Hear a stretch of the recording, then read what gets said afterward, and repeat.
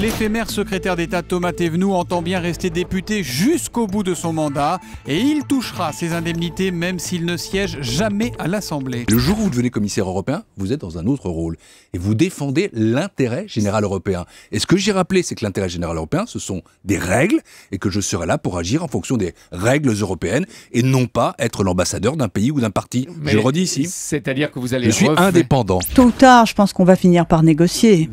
On en viendra là, this situation is not going to be solved by puisque la situation, elle ne va certainement pas se régler euh, par euh, des interventions militaires. Donc, tôt ou tard, il va bien falloir parler. Il faudra bien trouver des ressources financières de remplacement après l'enterrement de l'écotaxe par Ségolène Royal.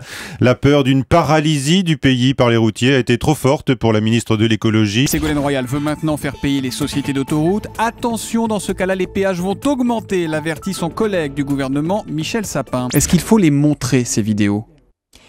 It's their propaganda.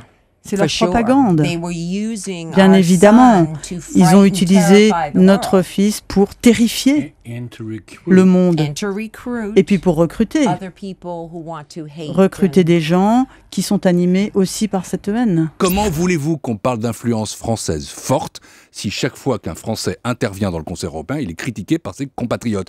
Et moi, demain, je travaillerai bien avec Monsieur Lamassoure, avec Madame Goulard, avec les autres. Je ne ferai pas attention à leur carte de parti. Ils n'auraient pas dû faire attention à la mienne. Un chômeur sur cinq ne cherche pas d'emploi. C'est la conclusion de Pôle emploi qui expérimente un contrôle accru des chômeurs depuis un an dans et qui s'apprête à généraliser ce dispositif. Un mot des grands de ce monde, le palais princier de Monaco vient de confirmer que la princesse Charlène attendrait des jumeaux, oui des jumeaux.